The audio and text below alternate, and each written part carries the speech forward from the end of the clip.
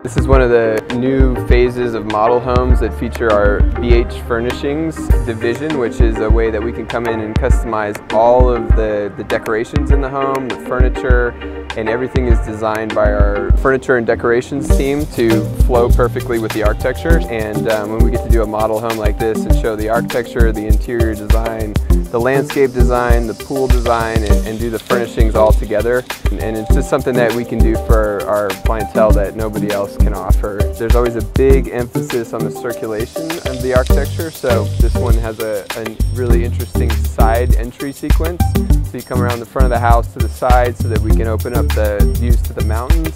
kind of walk towards the strip, and then you turn and come into the home on, in a really, really interesting and a very deliberate uh, sequence that kind of it's meant to kind of really touch your senses and kind of excite you in a whole bunch of different ways. And um, I think the team really did an incredible job of, of uh, putting something really special together the way that works.